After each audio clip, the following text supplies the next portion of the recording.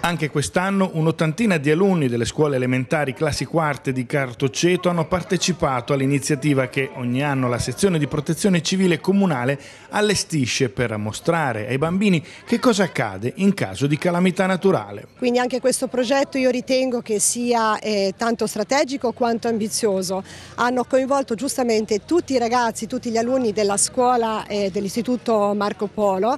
proprio per far sì di renderli soggetti attivi, quindi di una protezione civile, di una formazione, di un'informazione, di un diciamo, aggregamento, di un eh, sociale dove a ruota praticamente coinvolgeranno il proprio nucleo familiare, quindi tutto il sociale.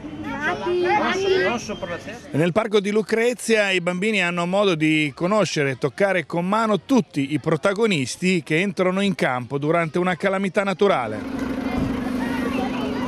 Vigili del fuoco, Croce Rossa, unità antincendio, forze dell'ordine e militari dalle 8 di questa mattina hanno coinvolto i bambini mostrando cosa ognuno di loro fa in caso di terremoto e come è stato recentemente proprio nelle Marche. Naturalmente non potevano mancare i padroni di casa, la protezione civile locale e delle Marche assieme alle unità cinofile di ricerca e soccorso del CB Club Mattei. Noi come regione da anni stiamo eh, visitando tutte le scuole, adesso da un paio d'anni è partito un progetto Io non rischio scuola per entrare proprio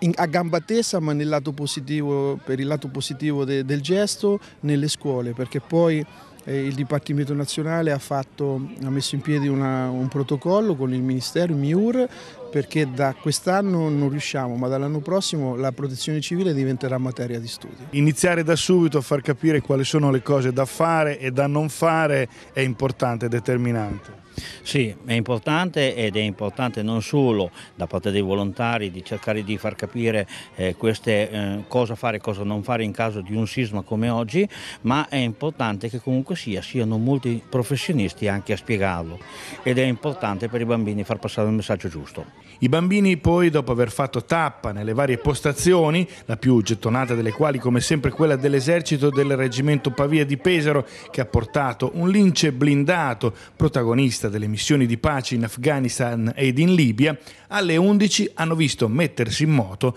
la catena dei soccorsi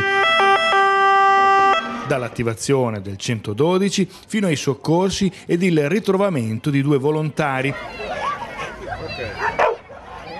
che figuravano dei feriti sotto le macerie e di loro naturalmente salvataggio.